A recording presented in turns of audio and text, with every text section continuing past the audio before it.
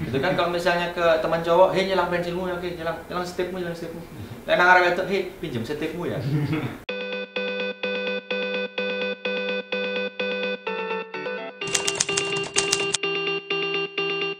Menurut saya sih itu normal sih.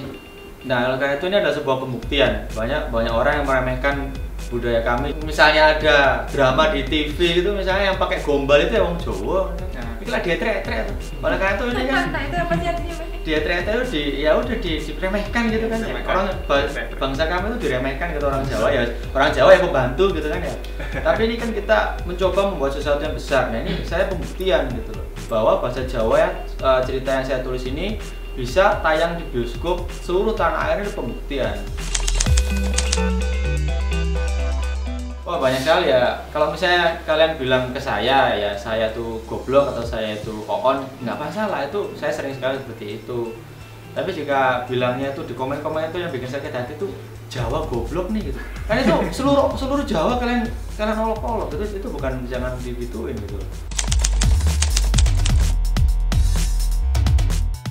Sebenarnya sih itu pertanyaan yang mungkin jawabannya pun juga masih belum tahu ya karena kita harus mencoba karena belum ada yang belum mencoba.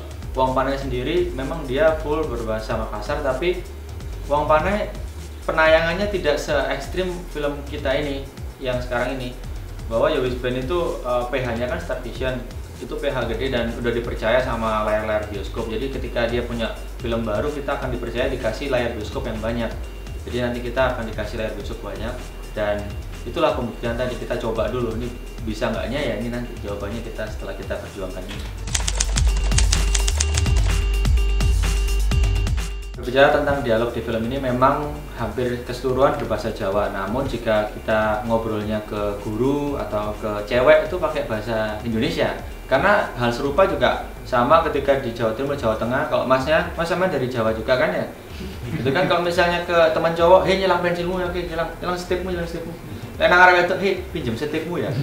itu kan ya. Kalau ke cewek selalu juga pakai bahasa Indonesia. Nah, untuk orang-orang nanti yang mau nonton terus mereka tidak bisa bahasa Jawa jangan khawatir.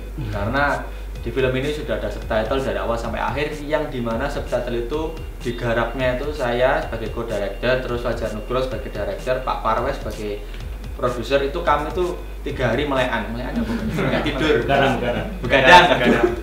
begadang itu membuat nas apa eh, subtitle yang maknanya bukan artinya.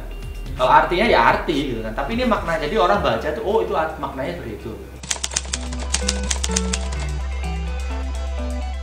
Di sini ada yang unik yaitu ada dua pemain ludruk ya. Ini legenda sekali legenda Jawa Timur yaitu ada Cak Kartolo sama Cak Sapari itu berdua tuh waduh lucu banget nah ini saya ini perjuangan mencari nomor beliau ini saja perjuangan karena mungkin dia itu sudah uzur jadi nggak pakai HP terus kita harus kontak dulu mana mata akhirnya ketemu dan ketika diajak orangnya semangat ikut.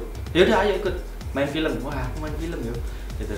Terus di film ini mereka menjadi eh, apa namanya pe- penambah apa nilai komedinya. Dinaikin di mereka gitu.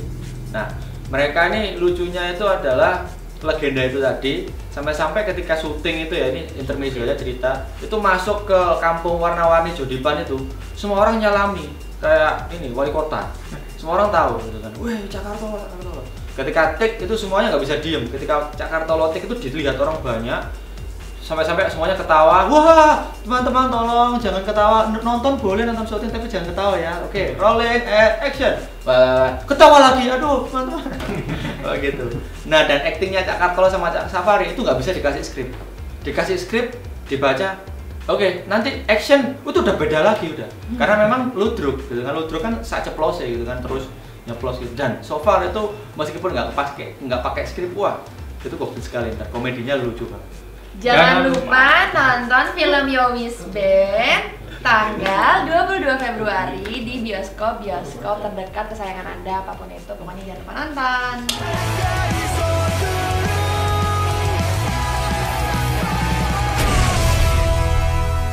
pancet kan. Iki kanggo hiburan. Kok hiburan nggak ngerti wong anjene wong bodho ku repot.